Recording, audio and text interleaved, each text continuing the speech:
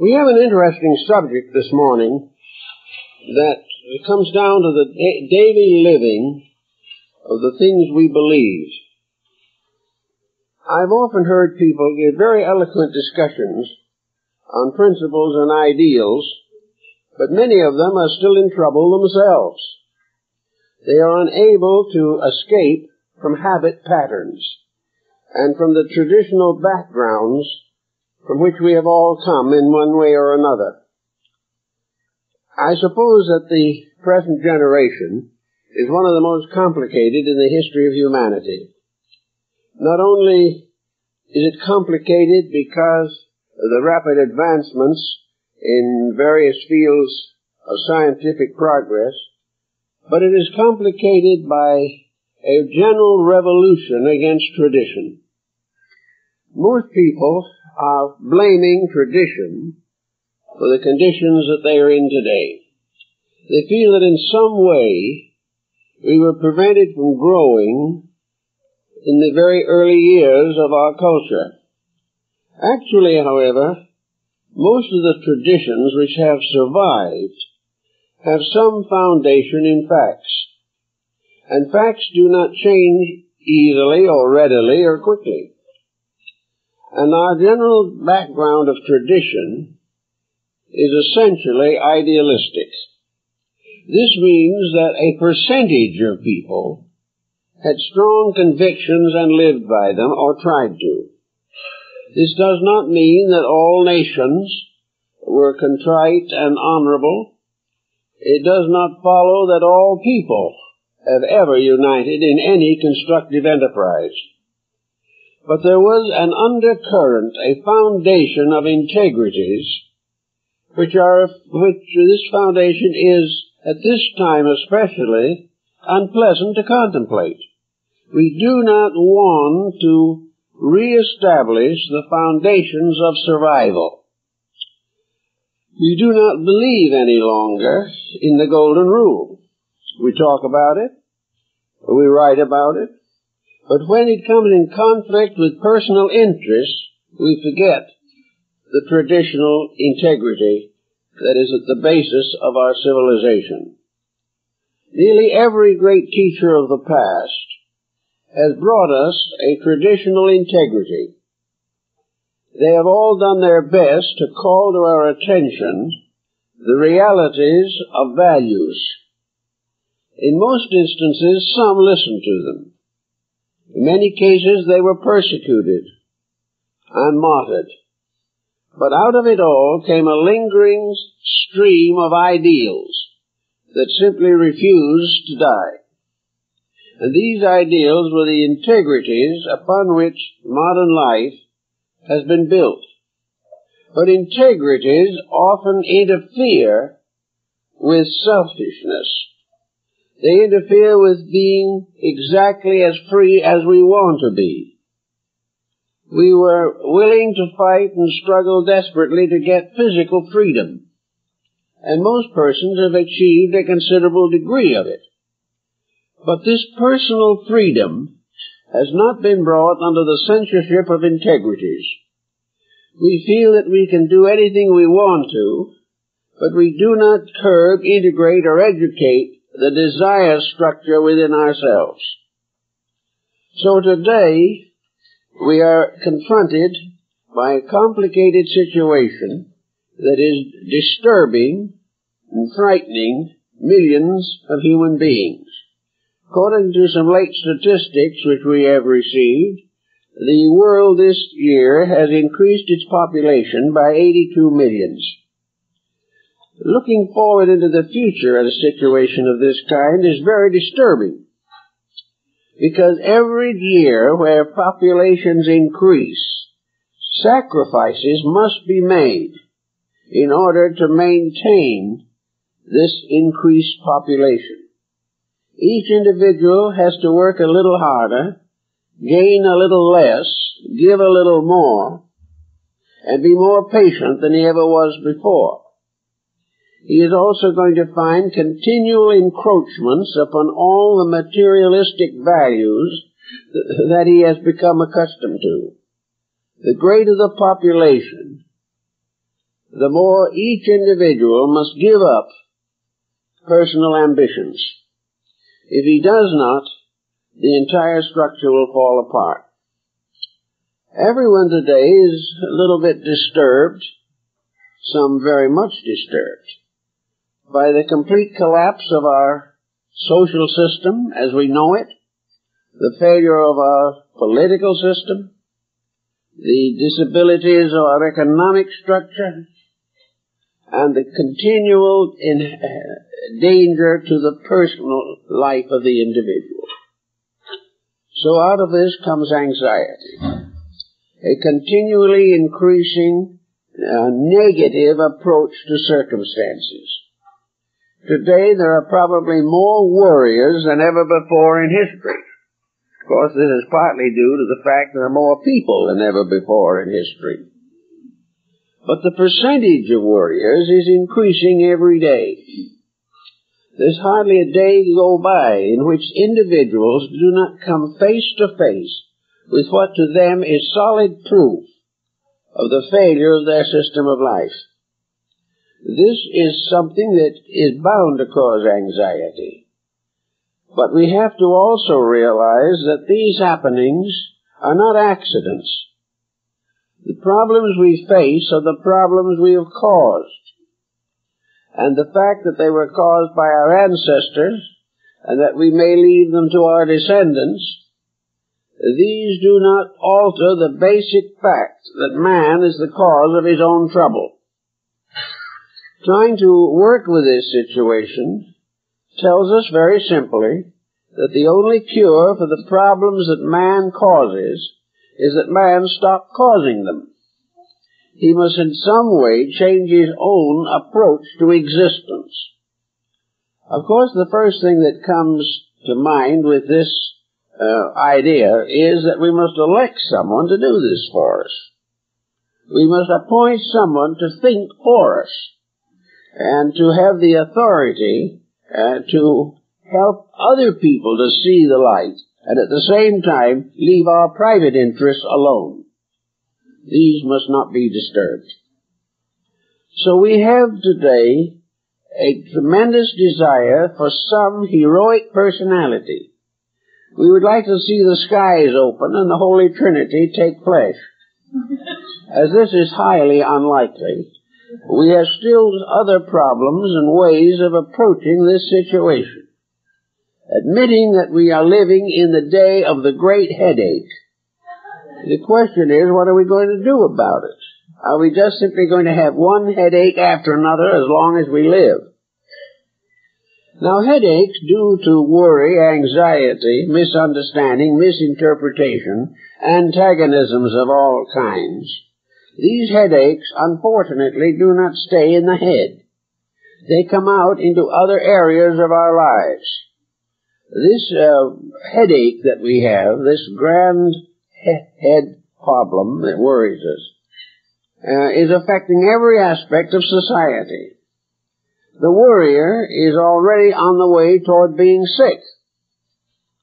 Now, if worry was what was intended, it would be unlikely that it would cause illness and be destructive to the human being. We must therefore assume that worry is not the answer. Worry is only a means of complicating the difficulty. So the problem of going around worrying, fretting, stewing, fearing everything that happens, mistrusting everyone, and in a state of perpetual criticism, this apparently is not the answer. The proof of that is that it is solving nothing and making us sick. Therefore, we should begin to think in terms of how to act so that we will not be sick. The solution to the problem lies not only in our fears and anxieties, but in the solution of the causes of these fears and anxieties. It is useless to assume that the rest of humanity will agree with us on any subject. In fact, it's hardly worthwhile trying to convert other people. For just as surely as we are trying to convert them, they are determined to convert us. So it just goes on and on and on. The only way we can stop worrying, stop fearing, stop hating, is to put a discipline upon ourselves. We cannot prevent the world from worrying, but we can become detached from the worrying set. We can become self-sufficient to our own needs. This does not mean selfishness. It does not mean that we are not mindful of the problems of other people. It does not mean that we will not do everything possible to assist others in the solution of their problems. But it means that before we help other people, we must find an answer that will work for ourselves. There is really no use in simply sharing the worries. There is no use in trying to find new worries in everything that happens in life. Now man has been given a faculty that is probably unique in the world of nature. He has memory, a magnificent equipment that enables him to build his own solutions by remembrances of his own life. History is collective memory, biography is individual memory. An autobiography is the individual remembering the life he himself is living. Now from the most fundamental and basic experiences of his life, he has been given the equipment to estimate values, weigh all things, and cling to that which is good. In order to do these things, he must shift his point of security. Everyone wants security. Insecurity is the great measure of our time. It is the problem that we are all concerned with. How can we find security? Well, it's obvious that the various patterns we are now following, these are not bringing security. The individual today is trying to find his securities where it is not, where these securities have no factual existence. One of the most basic problems here is the emphasis upon wealth. Most people are still convinced that if they have enough money, they are safe. Of course, the uh, depend it much depends on what they do with the money. If they take it to Las Vegas, they're not safe. Also, there are many investments which are very tempting and will lead to loss. But essentially, the individual feels that if his income and his economic status is secure, he has nothing to worry about. Facts are against this conclusion. For I've known a great many wealthy persons, and probably most of you have also known many who are more than comfortably fixed, who are worrying worse than anyone else. They're worrying because their wealth has been destroying their children, breaking down their homes, and making themselves sick. So physical securities are not the answer. Physical security is good if it's available. But as a goal, as an answer to the eternal problem, it is a failure. In the first place, there is no way in which everyone can be rich. And as long as there are various levels of finance, there will be conflict. So money is not the answer to our problem of security. The next possibility seems to be intelligence. Can we, by some means or other, think our way out of this dilemma? Can the mind solve it? Well, the mind has been producing solutions since the dawn of time. But these solutions are interesting, fascinating, very tempting and can completely uh, uh, take over the life of a person. But these solutions are not solutions. All the mentality that we've had in the world up to the present time has been unable to cope with war, with crime, or with poverty. The mind tries to find answers, but every answer the mind finds and tries to apply comes face to face with obstacles that the mind cannot solve. The truth of the matter is that the mind is an interesting, fascinating bit of equipment, but it cannot correct the present existing circumstances. Now the mind has given us a wide area of sciences and philosophies with which to cope with life. The mind has made possible science. But science is not solving anything. Science gives us a cure for some minor ailment, perhaps, or even a major ailment, but in so doing hands to the world mechanisms which could destroy the entire human race. Science has a very great weakness, and that weakness is the failure of humanitarianism in the scientific program. Science is concerned with knowledge. It is using the mind to advance its own purposes. But when it comes to taking care of the widow and the fatherless, science is not a great success. Other fields of learning, the arts, are corrupted. All of the various elements of mental activity show problems. Philosophy in our generation is virtually non-existent. What we call philosophy is a higher intellectual materialism.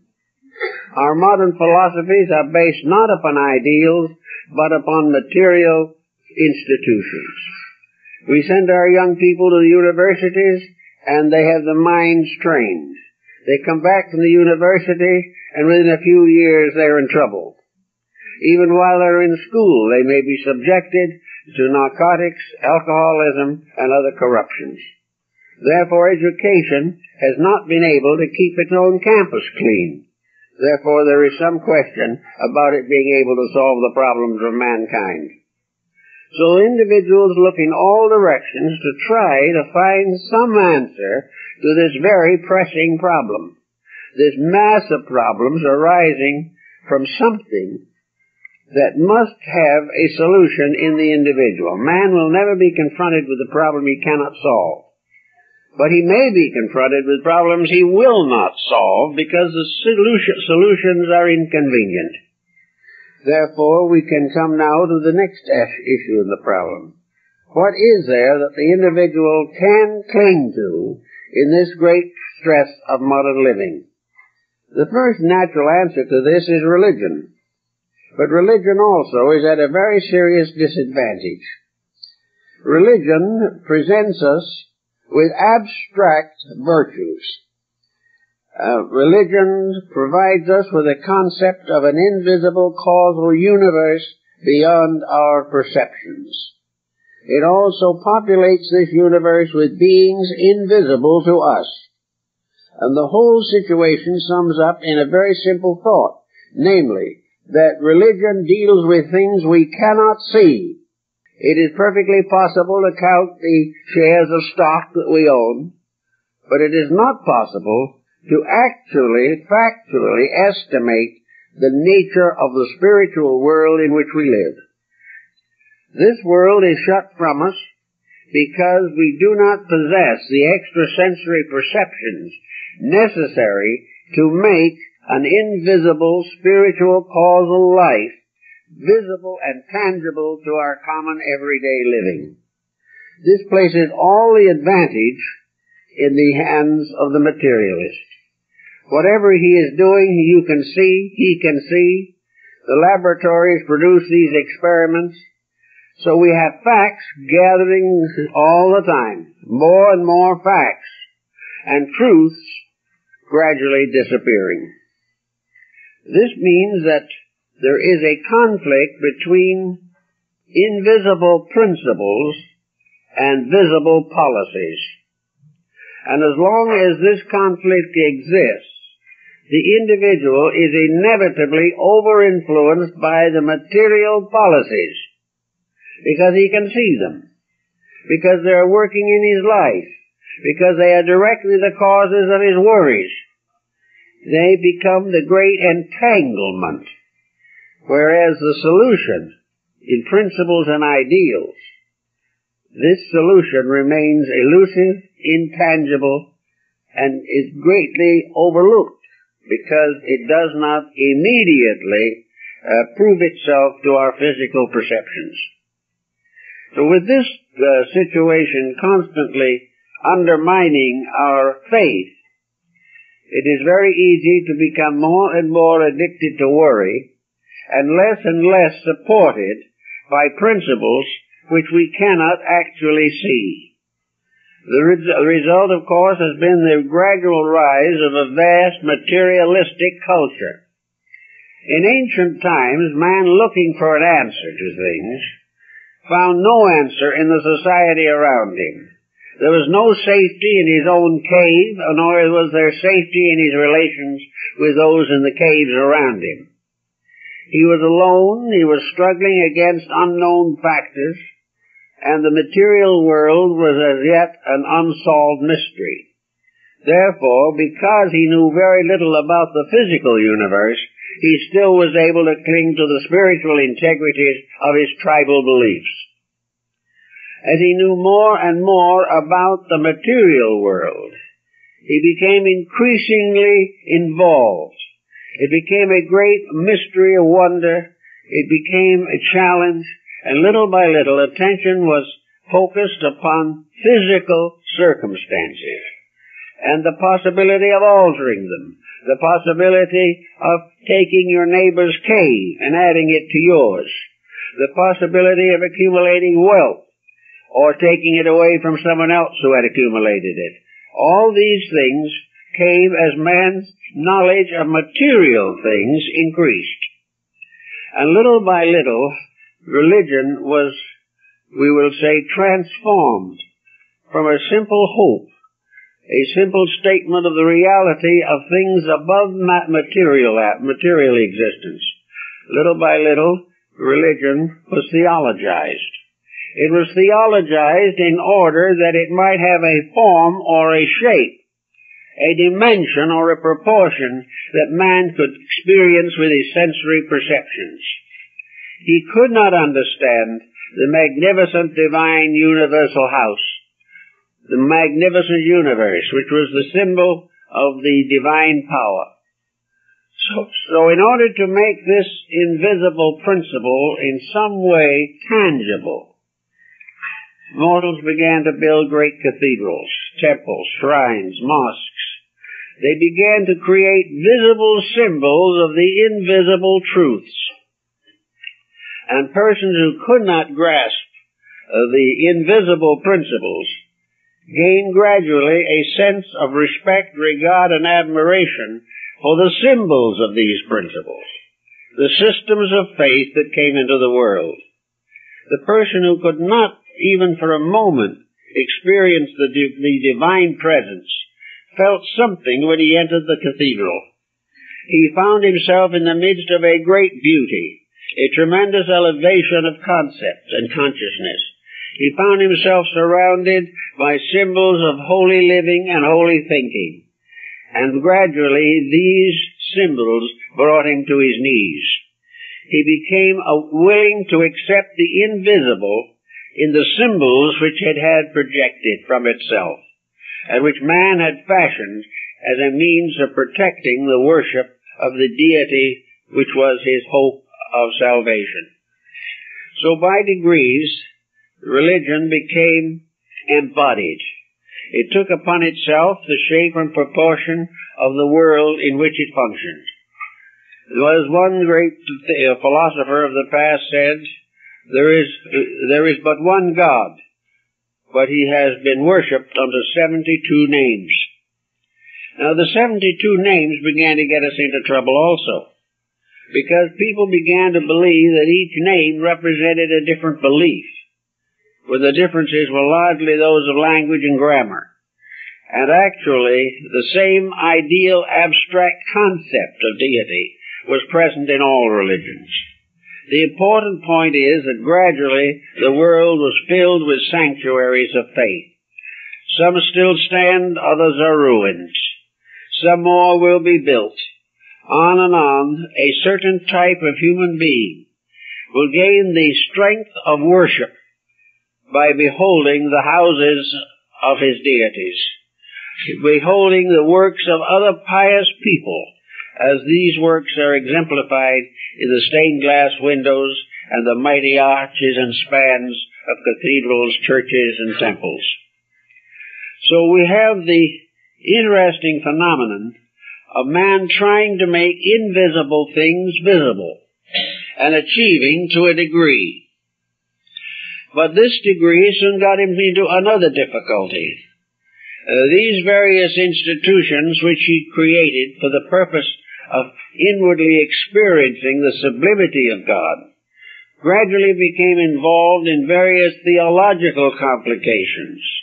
And these complications attempted to standardize men's beliefs, to force them to accept certain doctrines or policies regardless of their own internal attitudes or concepts. Gradually, therefore, religion was transformed into theology, and the priests of antiquity became the theologians of later time. These were individuals who were very largely dogmatic. They served dogmatic beliefs. They served certain attitudes. They held certain convictions as inevitable and absolute.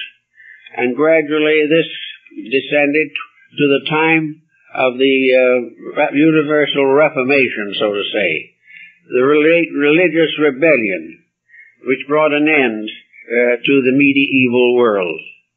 After the Reformation, religions in Christendom began to break up. More and more individual theologies came into existence. Sect after sect rose, each with its own peculiar concepts and beliefs.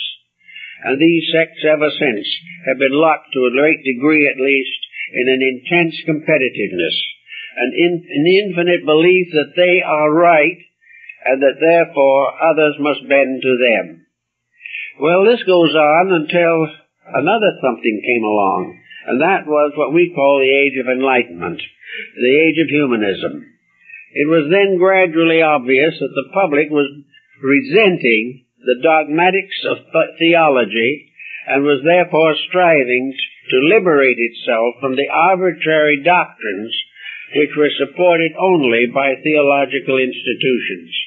These doctrines gradually came into conflict with human interests and attitudes.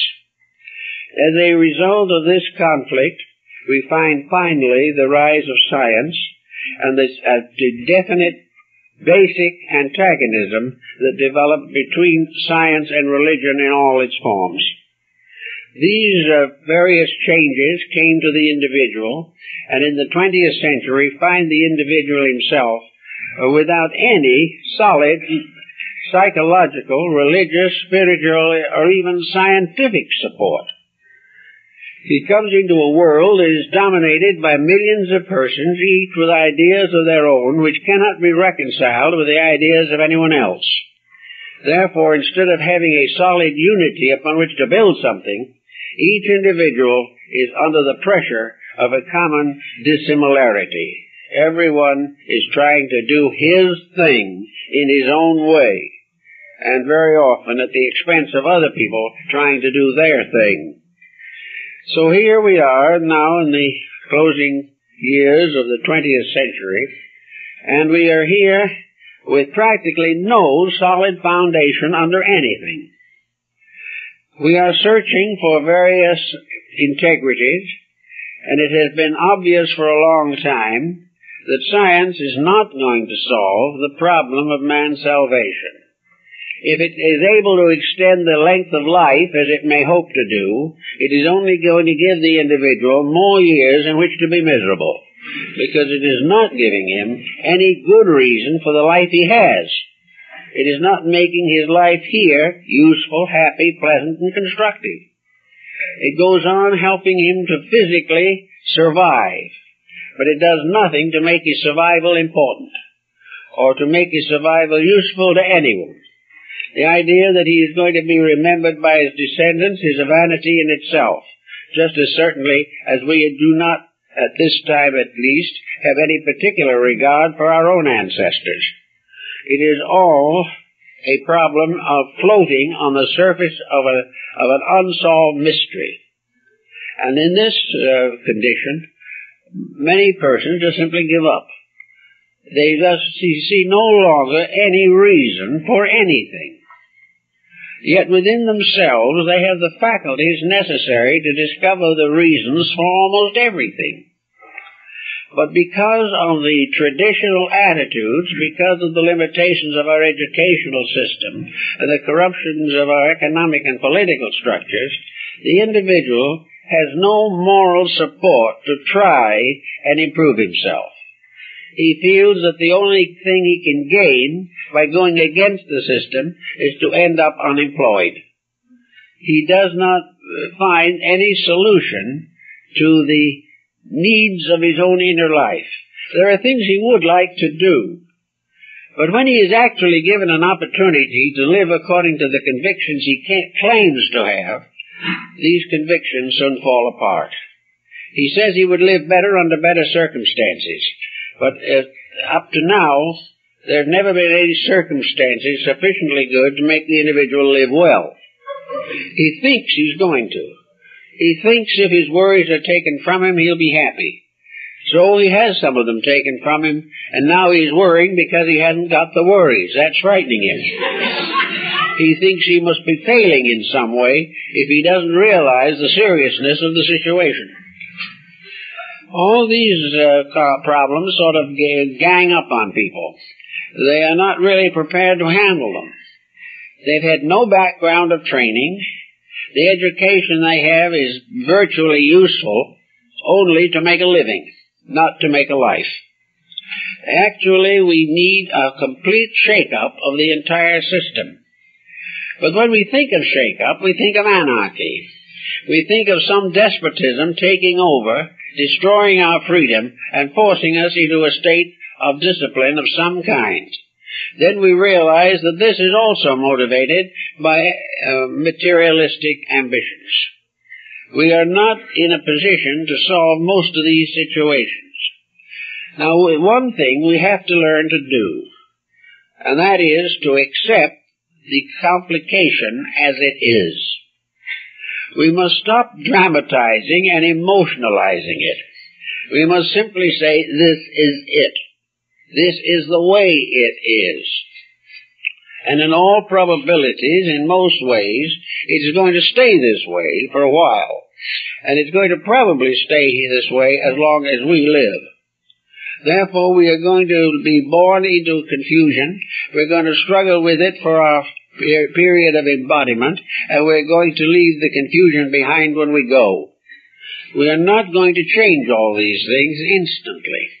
No matter how hard we try, we uh, have our troubles in common, but our solutions must be individual. The only way we can face this complex is to gradually work out in ourselves an explanation of it, a reason for it, that is sufficiently strong to enable us to live reasonably well and at the same, same time have a strong living realization of spiritual integrities. Now this sounds a very like a very difficult thing. But after all, this new world in which we live is an amphitheater of natural phenomena. We are here in a world in which everything is lawful or unlawful. Everything is catalogued, classified, and controlled.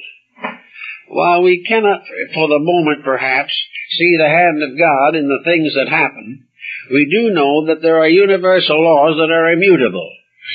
We also know that in nature there are principles which prove beyond any doubt that a universal system does exist, and that this system has the means, the knowledge, the consciousness, the reality to survive all of man's difficulties and also to transcend man's intentions to destroy the system of which he is a part. This system cannot be destroyed by man.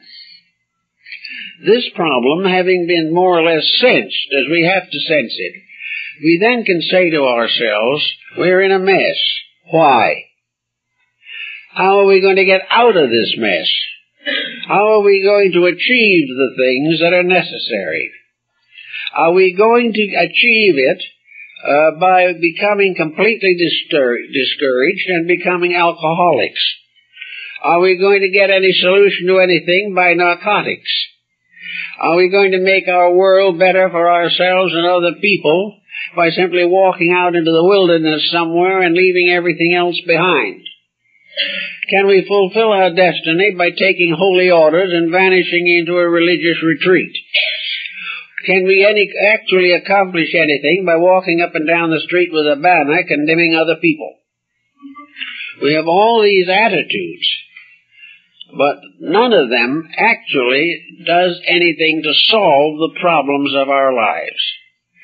Today we have more groups that are in activistic relationship with others, that are constantly parading, that are constantly objecting, and yet out of it all comes nothing but a great headache. Why? Because this is not the answer. It is not the way we were intended to do it.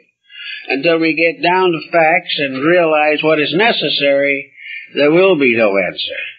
And when we get to the point where we appreciate the answer, we realize that all the misery we've had was well worthwhile.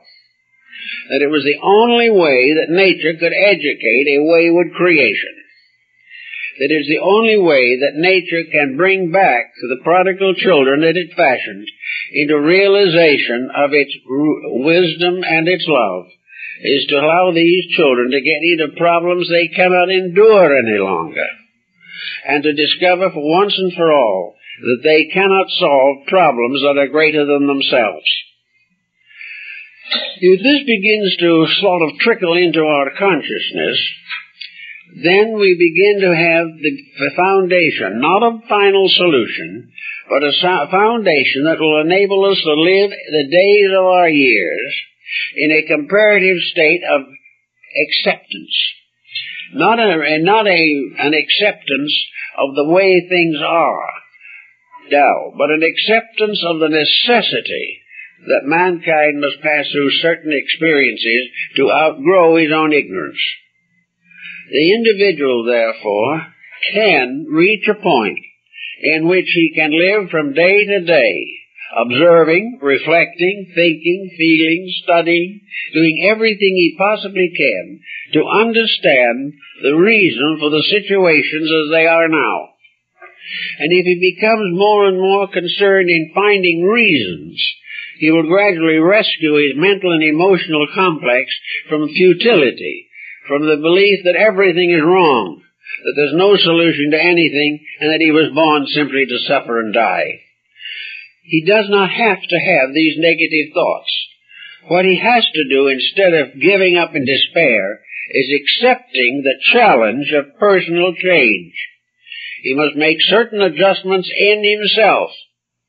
He must gradually release his energies from despair and despondency and focus them upon the understanding of life. The understanding of the way things must be and the way they should be. And the way they will be, regardless of what man does.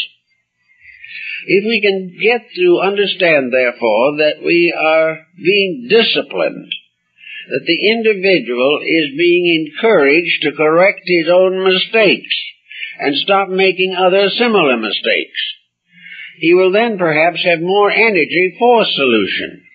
There's a lot of work to be done in this world. There is a great need of united effort. But nearly always despondency, neurosis, pessimism, all of these uh, negative attitudes impoverish the resources of the person himself. When he finally centers his mind upon futility, he will find it everywhere he will become more and more futile in everything that he does. He will become discouraged. He will believe firmly that this world is of no value, and if he gets despondent enough, he may even contemplate suicide. But with all this contemplation and all this negation, nothing has been accomplished except the disintegration of a personal existence. Taking this point as a basis, then, of something to do that is at a different point of activity. The individual should begin to try to observe the working of universal law in the various occurrences of his life. He must begin to see reasons for things which he now regards as merely uh, miseries he must begin to realize that he lives in a world of lawful procedures and that he must abide by them. Now, on some levels, we're beginning to get a little wiser. But up as to now, it hasn't been considered a general improvement. One of the fields in which we seem to be getting a little smarter, at least, is nutrition. We have discovered finally what we should have known always, but which we didn't need to know until we broke the rules. Namely, that nutrition is a very important factor in life, that it cannot be ignored, that the individual who wishes to have better health must concentrate his attention upon learning how to have better health. He must study the problems of nutrition in himself. He must discover his own mistakes due to appetites. He must discover why he cannot do just what he pleases and at the same time maintain bodily health. So here we have come face to face with facts and we're gradually beginning to face them with more or less conscious intelligence. Now our out, our mental life is also in constant need of nutritional education. What we take into the mind as a phase of our nutritional problem.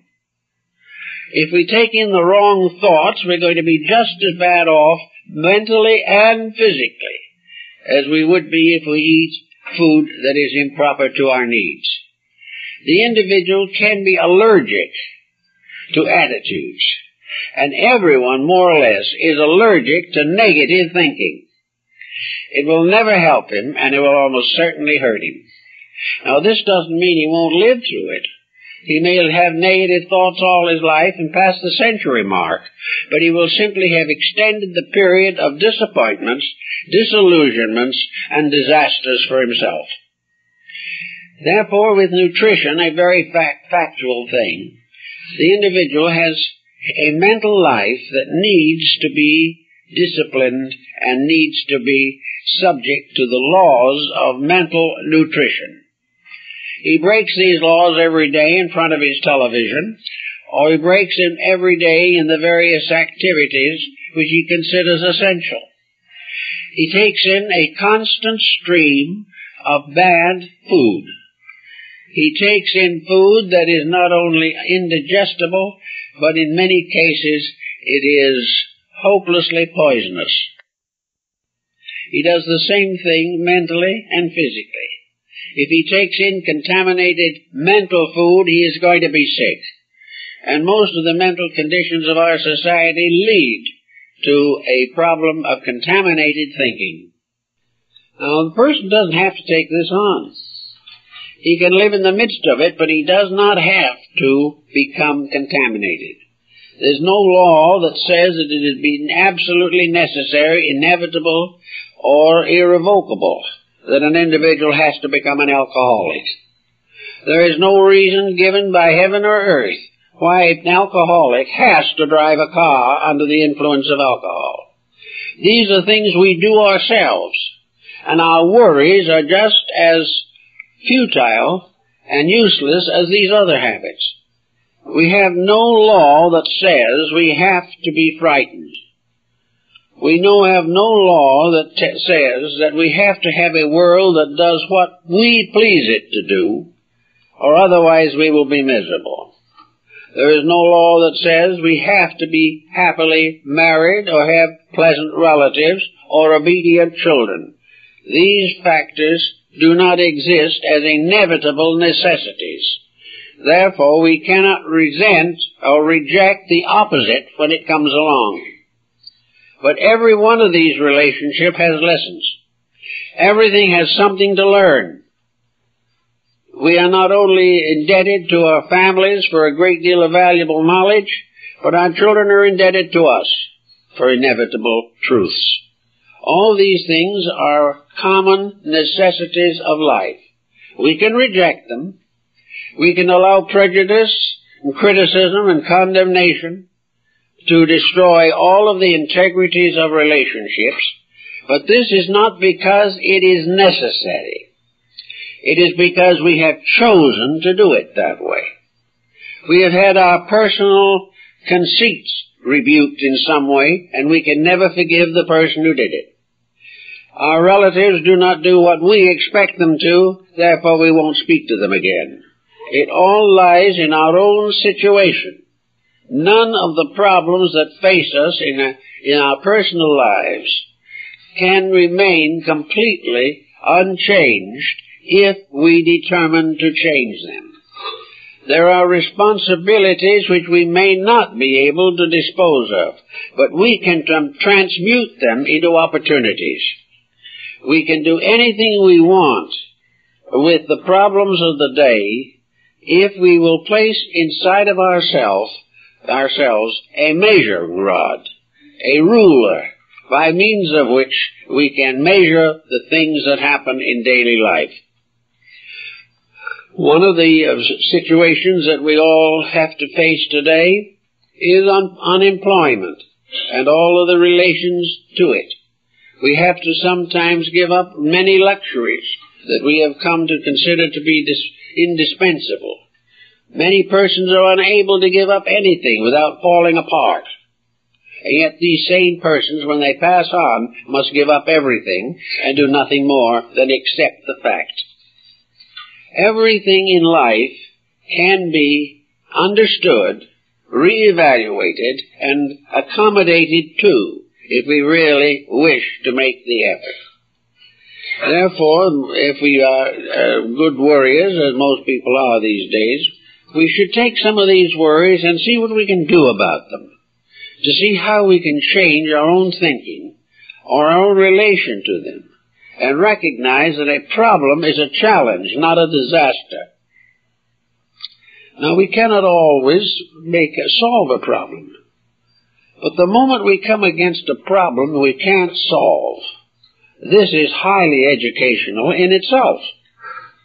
The fact that we can't solve some common human problem may just be a proof of that we are not infallible, which is a discouraging discovery to make because we wish to assume that whatever is necessary, we know it. Whatever we should be doing, we do it. And to suddenly wake up and find that we are not getting anywhere with our own infallibility can be one of the most important lessons that we will ever learn in this world. It suddenly gives us the opportunity to recognize that what we consider to be the proof of our wisdom is merely perhaps only the pressure of our own egos determining what we're going to do. So we can begin to find out, for instance, that our advice isn't always good. If our advice isn't good, why? Is it because we've had no opportunity to learn? Is it that our own lives have been so instituted that we are giving advice based entirely upon personal experience? What is the reason why our advice is worthless?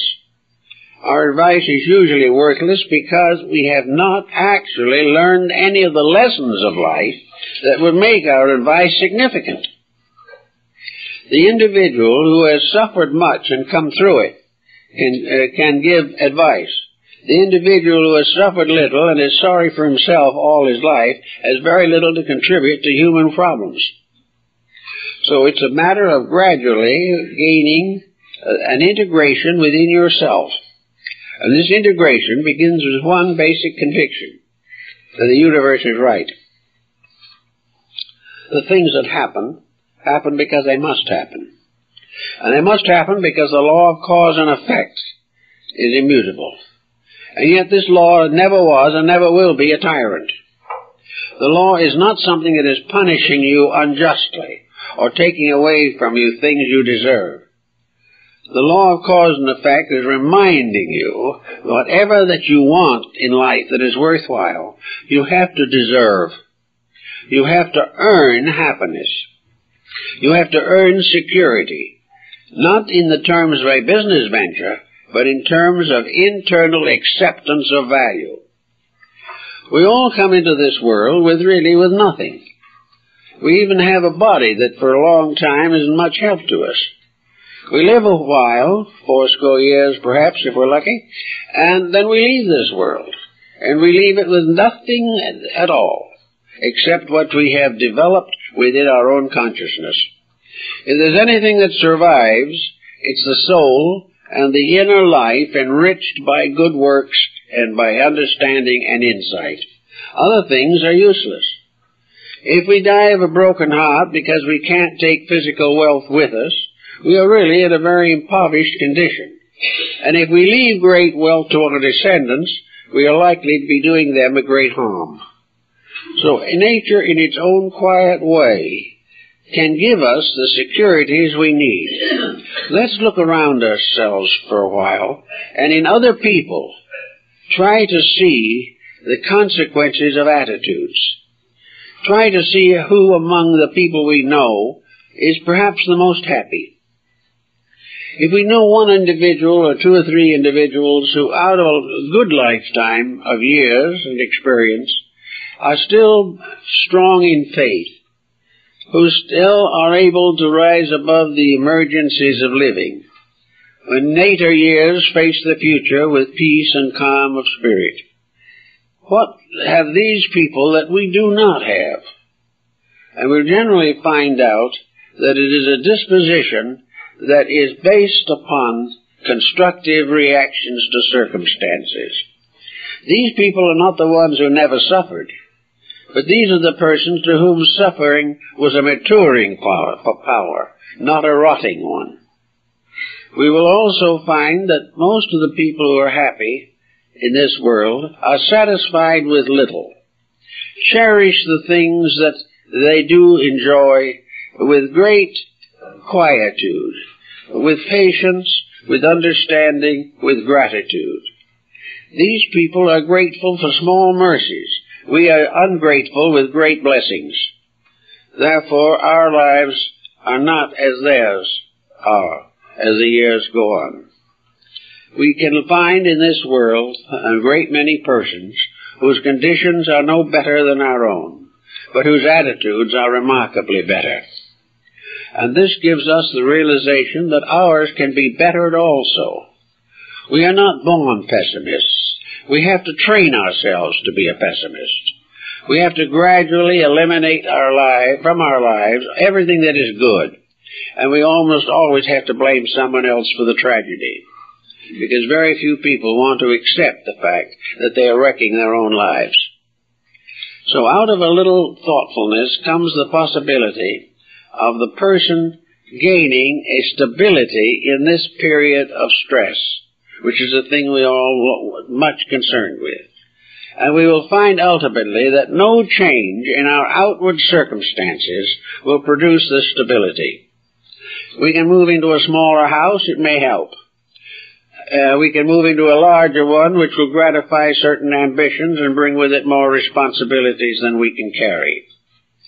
We can do all kinds of physical things trying to find that peace that the world is seeking but it will still be elusive because everything that is physical is transitory, and the only thing that is not transitory in man is his own soul. And this is the thing which he must educate, he must release into manifestation, and he must serve with fullness of heart and mind. So if you finally decide to do something about it, begin the cultivation of constructive living and thinking. Let the mind be concerned with something that is not worldly. Now, uh, many things have come along that people have found to be very helpful in the steadying of their emotional lives. Service to other people is a tremendously remedying factor.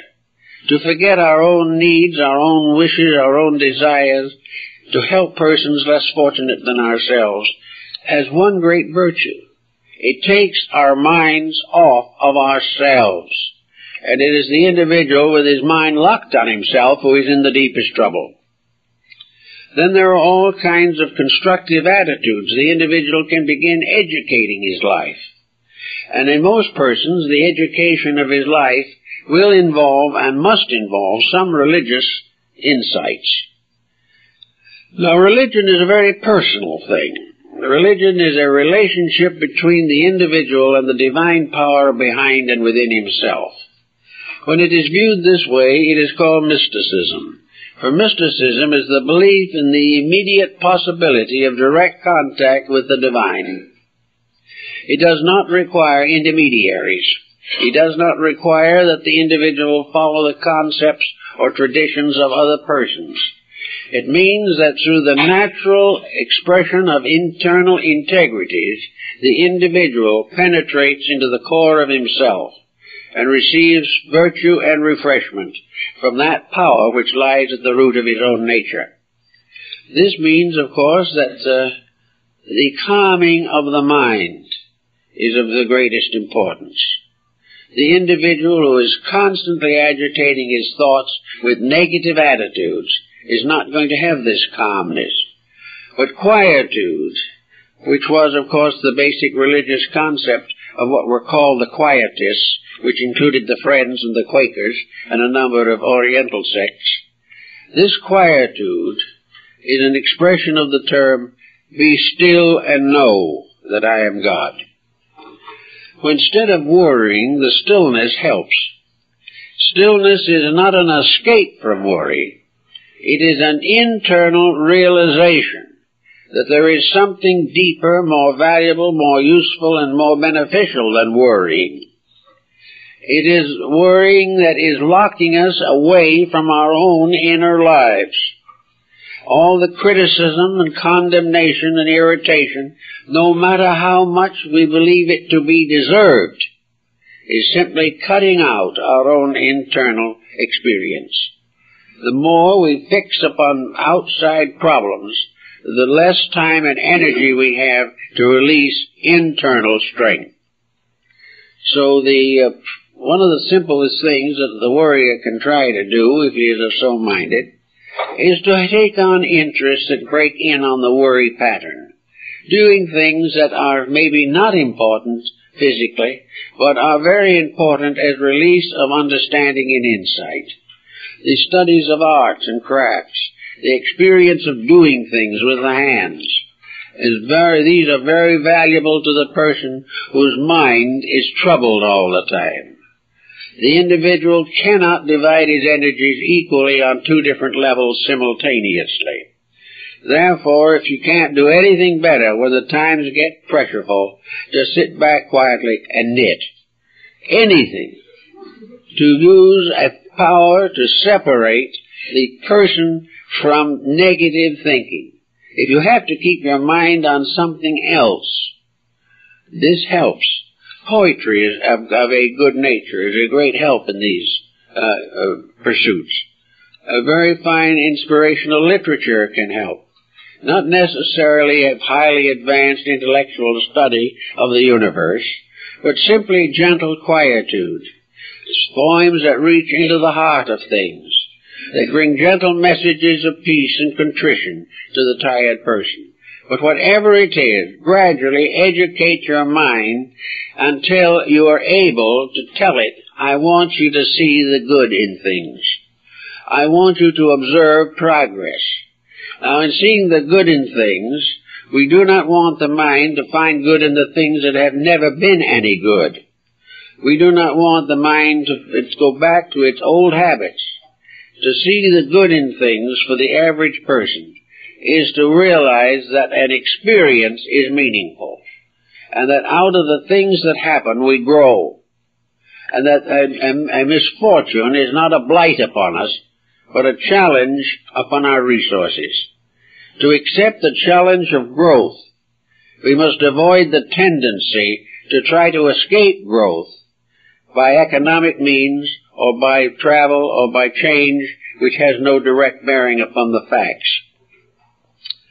If you can achieve a certain amount of peace within your own nature, you can then begin to re-educate yourself. It may take some time because you may not be able to just re-educate everything at once. Because you may have to re-educate your background back three or four generations to get at the root of some of it. Your families have been made up of warriors. Everyone has struggled for something that he either didn't get or lost afterwards.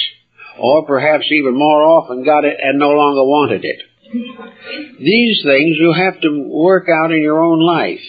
In childhood, in education, in marriage, in relationship with life, business, children, and everything, we have been taught to be concerned in the sense of being irritated.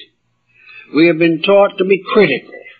We have been taught to dislike rather than accept the major occurrences of existence. We consider change a disaster, when no change can be the worst disaster of all. So with these concepts uh, basically working in us, we must try for the beginning of security, and that is a quiet, perspective relationship with life. When something happens that for the last 50 years has caused us to be angry, the best thing to do is to take a deep breath, relax, and keep quiet. Instead of answering back and starting an argument that might go far enough to break a home, just say nothing. Very quietly let the thing die without adding anything to it. Try never to put salt into an open wound. Never try to argue faster or better than somebody else. That is how wars are made. Are people out arguing each other, nations out arguing each other, each one certain that its ideas are the best and that the other one is wrong. So under doubt, be still. And in the being of stillness, and in the quietude of a complete detachment, try to understand what is really meant, what is all involved in this entire problem. Who is right? Who is wrong? What is the meaning of the occurrence itself? Little by little, if you do it this way, things become uh, symbols of value instead of symbols of loss. By degrees, the individual can gain great insights from the quiet acceptance of life. He can also observe the consequences that come to people who are not self-controlled. He can see how the argument leads to another tragedy. He can see how people walk out on each other over trivia, and why children leave home and get into difficulties and perhaps ruin their lives. Now each person in his own way thinks it's somebody else's fault. That these are ungrateful children, that these are children who do not appreciate values and securities. But the person then says, what securities did I give them? Did I give them three meals a day, send them to school, and start them off? Did I give them any moral or philosophical insight? Did I simply scold them when they didn't do what I expected them to? Or if they had a fault of some kind, did I punish them? Was there anything in my relationship with these children to inspire them to search within themselves for greater values? Did I give them a spiritual foundation of integrities? Did I prove to them through my own conduct that my security was based upon integrity? If all of these, or most of these things were lacking, the mere fact that we supplied them with all the phys- physical necessities of life still leaves us with a tremendous unmet responsibility. And this is true in almost every walk of life. That we, in, we bring people things, but we do not help them to establish foundations that will endure. Today we are looking, perhaps not for some time in the past, for better religious values. All around we are finding new groups of people, and old groups also, that are beginning to come back to faith. Now some of these, uh, in some of these countries where religion is in trouble, particular trouble, the faith itself is a tremendous factor. Even though politically these countries may not be allowed full religious freedoms, they cannot be taken away from the individual's internal life. There is no degree of persecution that can prevent the individual from his internal acceptance of realities. He may not be able to expound them to other people. If he tries to preach them, he may find himself in prison or in worse situation. But there is no reason in the world and no power on earth that can prevent the individual from living on a level of personal integrities. He can do whatever is the unpleasant task, but he can do it with an understanding of why and that out of persecution, out of all of the difficulties that beset him, he is gaining the strength to stand above all of the problems that he has previously considered insurmountable. So we know that it does work. Another thing that is very important in this problem is to maintain some type of regular religious relationship with life. And most of the time we attribute this to church gathering. We think that the individual should join a church, should attend services, and perhaps send children to the Sunday school. But this is again a physical solution to a mystical problem. I think every churchgoer should give great thought to how he acts on the six days a week that he doesn't go to church.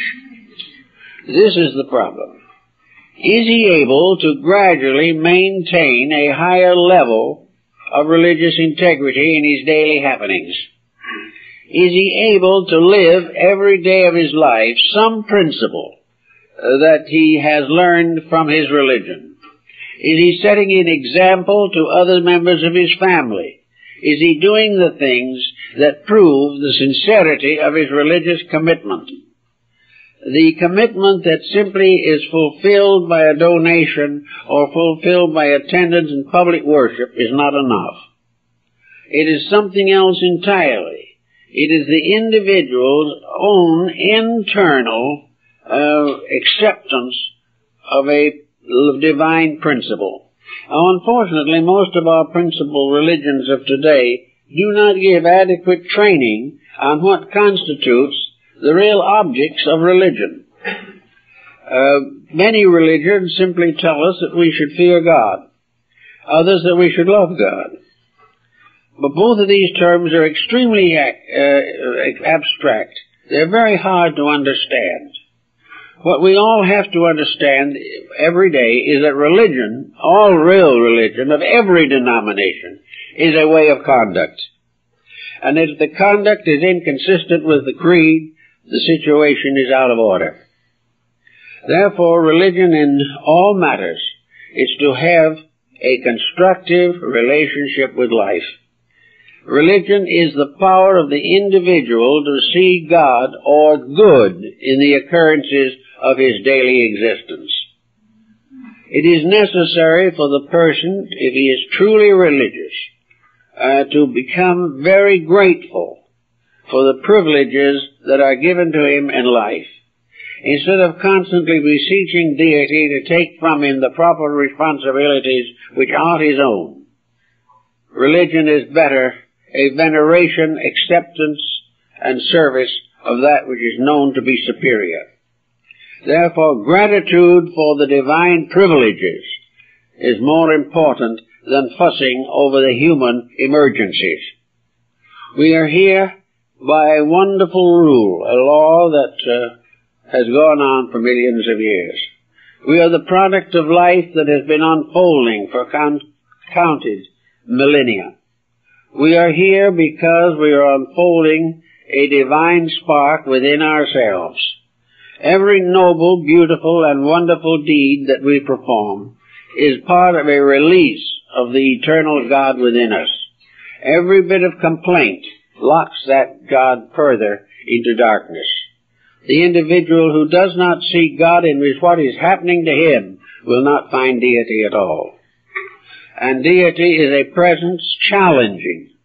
It is causing the individual to call upon his spiritual resources if he believes in peace, religion calls upon him to keep the peace. If he believes in integrities, religion demands that he lives them every day.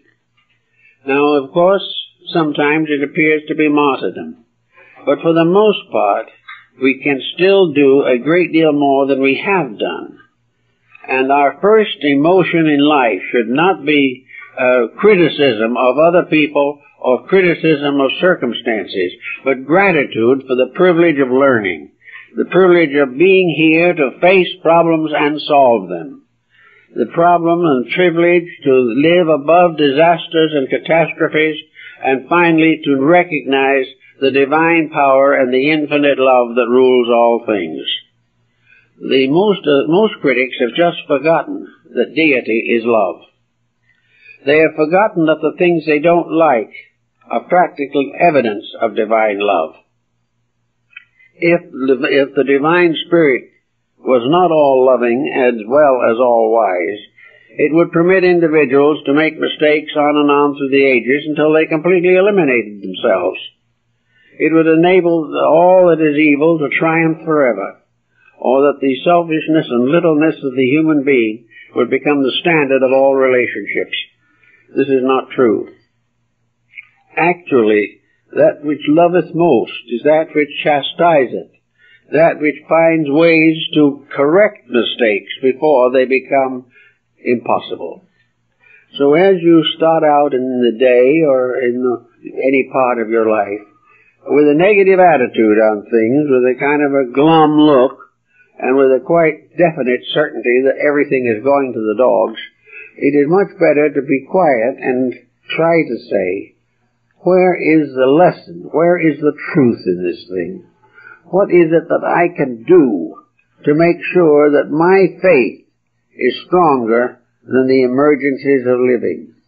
How can the individual prove to himself that his inner resources can carry him through any emergency that arises in his life? There are no emergencies really. Sickness, death are not emergencies. That which is an emergency is when an individual makes a bad decision. This is an emergency. It is because he has forgotten the principles upon which his life should be built. All things natural are not emergencies. It is not an emergency that we grow older. It is not emergency that we have to give up certain privileges and opportunities as years go by. Everything is that as we grow older, we have the right to live according to a longer perspective of experience. We can make decisions that the young have not yet the power to make. But in every part of life, youth, age, all periods, we are living within a pattern of divine purpose. If we can get this thought sort of fixed in our minds, we will not be so given to all the worries and excitements that come along. We are worried today over economics. We always will be and always have been as long as we worship economics. As long as we make the dollar deity, we are going to be out worshiping the golden calf and we will be always in trouble. If we make our life built upon uh, achievement in the same sense of ambition, and this ambition causes us to be untrue or unkind or unreasonable, we may attain the ambition and at the same time have a stroke or a coronary. Because nature doesn't want it that way. Nature doesn't want the individual to live for ambition alone. He wants the individual to have a little ambition and a great deal of aspiration. This is much better. Aspiration means to become more. Ambition means to accumulate more.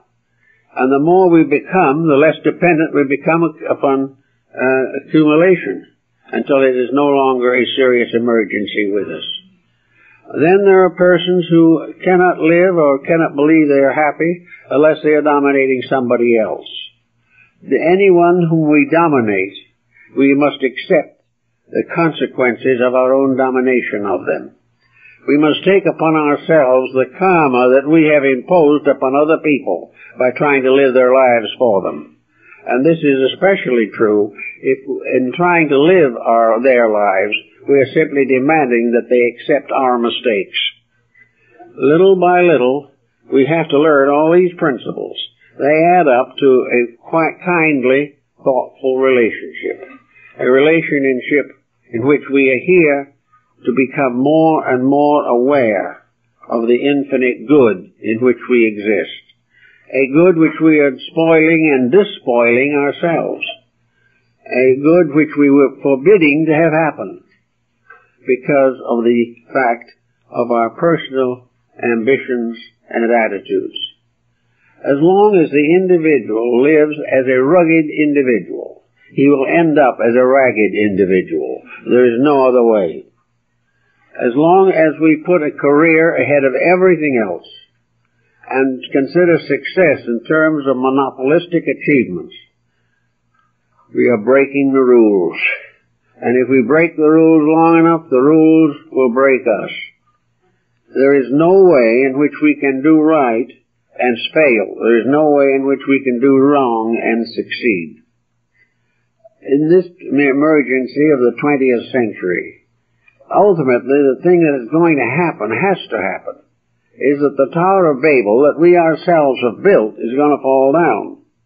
But this does not mean it will carry us to oblivion in one terrible experience. It simply means that the individual will be faced with restoring or reconstructing a world which he has, de- has destroyed or devastated by his own false attitudes.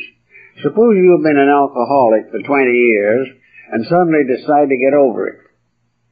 Now it's going to take an awful lot of willpower to do it. It is also going to take considerable personal suffering. And it may be that you'll have to be hospitalized for some, some time to get rid of the pressure of this destructive habit. Now a world, so to say, is an alcoholic. And that can be more literal than we might think, because alcoholism is a blight upon the whole surface of the earth. But also, alcoholism is a symbol of a way of life. It is a habit-forming symbol of man's selfishness. It is part of a grand pattern in which everything we have done, everything we have thought about, everything we have lived for, has been dominated by self-interest. It has been dominated not by the law of what we should do, but the law of what we want to do and will do regardless of consequences. The only part about it that's uncomfortable is the consequences. But they are there, and they always will be there, and no one will ever be able to get rid of them. So we are, uh, if we are in a bad habit, if our world for several thousand years has been doing it wrong, this will never for one moment change the fact that it is wrong. There's no possible way in which we can cultivate so many vices that any one or all of them can become virtues. The, the trouble stays the same. Nothing changes. No matter how much legislation we make, how many rules we make, or how many of our contemporaries make the same mistakes, the mistake is a mistake to infinity. It will never be changed. The only way to get over the mistake is to correct it. Now with this type of thinking, we can sort of relax a little bit, I think. We can live from day to day trying to be what we were supposed to be.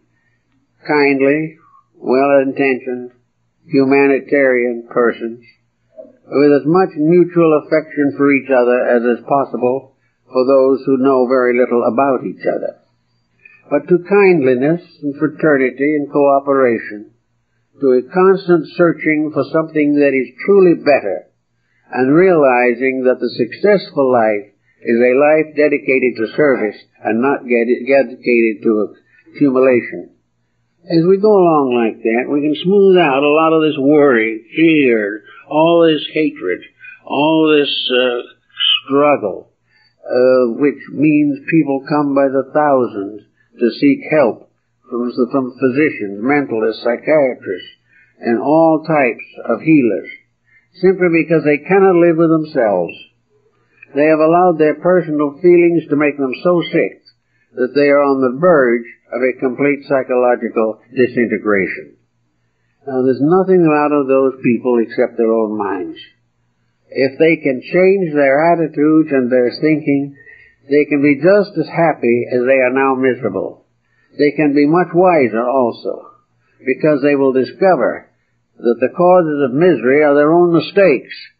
They stop making the mistakes, they will be happy.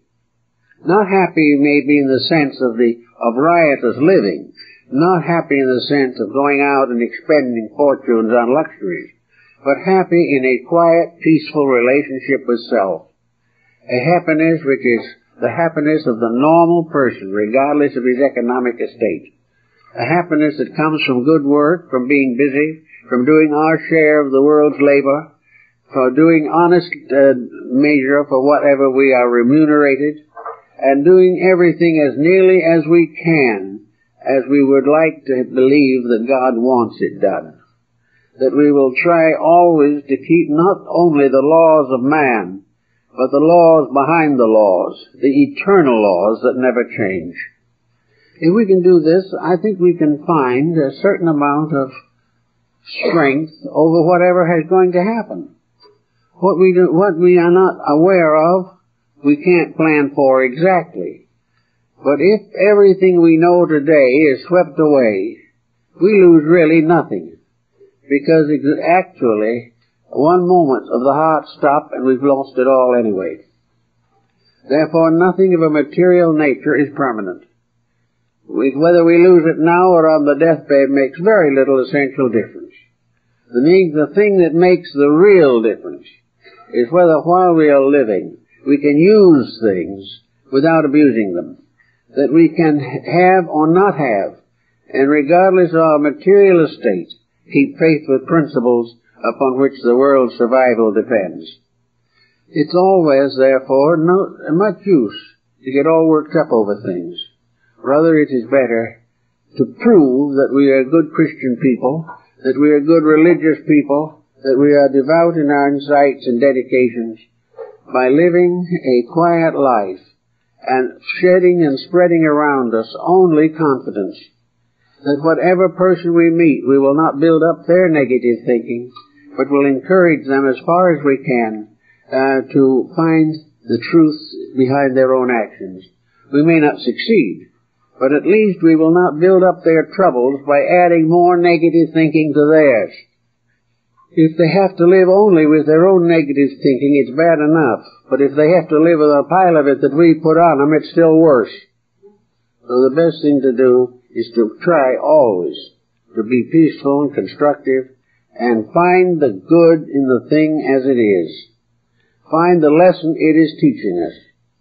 Find the way of superior existence which it is pointing to. And that it all accompanied by the very simple fact that the more we serve the ego, the worse off we'll be. But the more we serve the soul that lies within, and which is in the God within us, the more we will come into the peace and happiness of realization and final infinite adjustment to the plan of which we are a part. We find all by peace. We find all by quietude. And we find nothing but trouble by fear. Well, I guess that's all, folks.